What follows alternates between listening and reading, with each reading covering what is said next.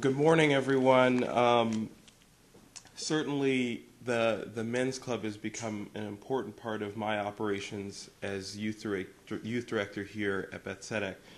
This morning, I, I want to reminisce a little bit in my own life, but I want to talk just quickly about the idea of scholarship, of what it means to be a scholar.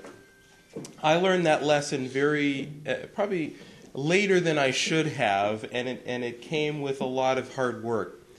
Uh, when I was a student at the University of Judaism in Los Angeles, I had a professor uh, by the name of Dr. Ziony Zevit. Dr. Ziony Zevit is one of the world's most prominent biblical archaeologists. This man is fluent in six dead Semitic languages, he speaks seven other languages. Um, he uh, has a, a, knowledge of Bible that I, I, I, I, you know, what he knows on his on the tip of his tiny pinky uh, is more than probably any student he's ever taught. I had the I don't know whether or not the privilege of having a course with him one on one, where and, and Dr. Zevit comes with a, a, reputation. There are rabbinic students at the University of Judaism who refuse to take his classes. And there are undergrads who definitely for sure refuse to take his classes because he's a very tough grader. He's the type of professor that will lecture for 20 weeks, hand you a description of what he wants you to write on your research paper, will tell you to write 30 pages in four days, and whatever you get on that paper is the grade of your class the grade that you'll receive in the class. So there are, few, there are very few people who are willing to, to undergo that amount of pressure. But in one year, having a class on early prophets with him, one on one was a unique experience where I learned what it meant to really be a scholar. He, one morning, he, he was running uh, he had, he had a, an appointment that he had to do. We normally had class at 9:30 in the morning, and he calls up to my dorm room at 8 a.m. and I'm asleep, certainly asleep, and he says to me, "I have an appointment at 9:30. We need to meet at 8:30. Be downstairs in my classroom. By then, we need to learn." So, in a panic, I get ready. I rush downstairs and I make it about with about 30 seconds to go. And he sits down, and he was the type of person that really never really engaged with his students. He would just lecture, put his notes down, and leave the class. He looked me straight in the eye that morning and he said, The difference between being a student and being a scholar is that a student is always absorbing information. They just take it in and they store it. And then at some point, when they're called upon to regurgitate it, they do. But a scholar takes in information, stores it, creates an opinion creates a thought, and then when asked to regurgitate that information, presents not only the information but their thoughts on it too.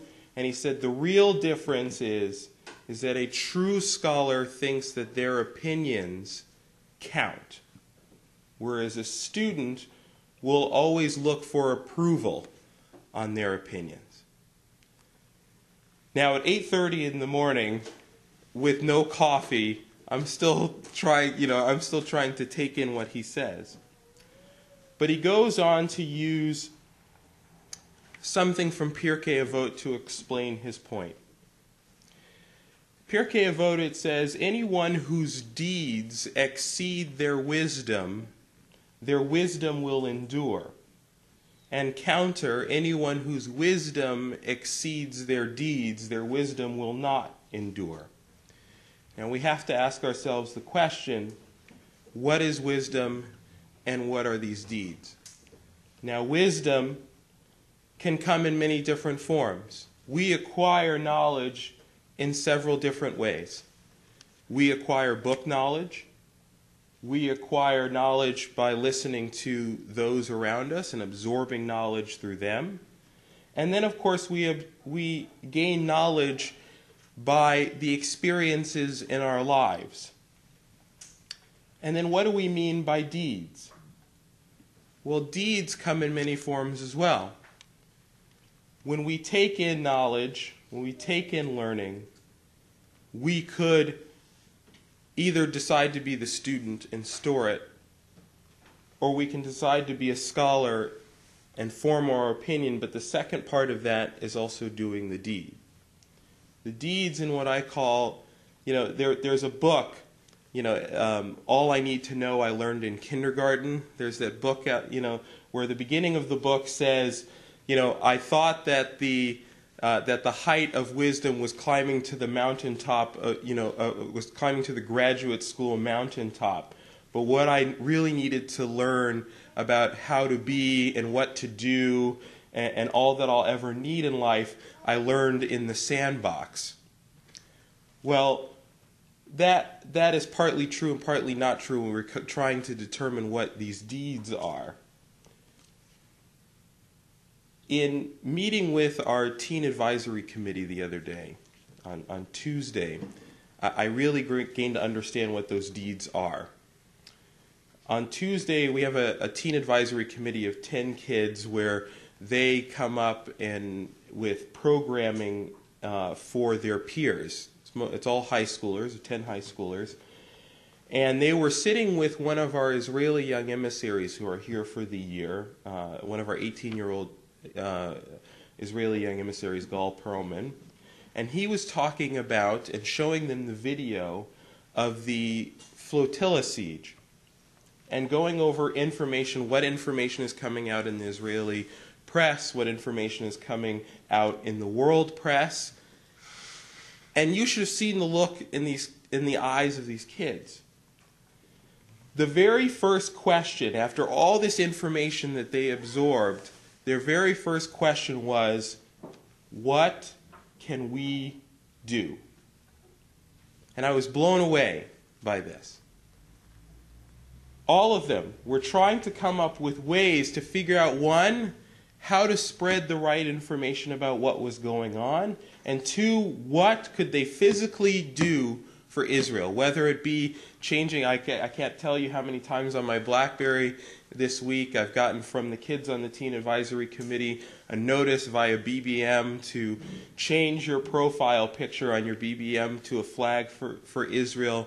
They did, they started they, uh, a campaign with their friends, where all their friends uh, changed their profile pictures to show their support for the state of Israel it wasn't just the fact that they took in this information. They took it in, they processed it, they formed their own opinions, and they did something about it. Dr. Zevit always asked me as a student, and I ask all of you, adult, teen, child, even myself, knowledge is one thing. Knowledge can be taken in as a student, and you can just take it in, store it, and when asked to regurgitate it, you can. But true scholarship, being a true scholar, means taking in all the information that you can in the world and then ultimately making a decision to do something about it. Whether it be Jewish education we can't just take it in. We have to decide ultimately that when we learn the, the, the rules and the lessons of the Torah, the Tanakh, the Talmud, the commentators, that they cannot just be an intellectual exercise, but they have to be set to deeds.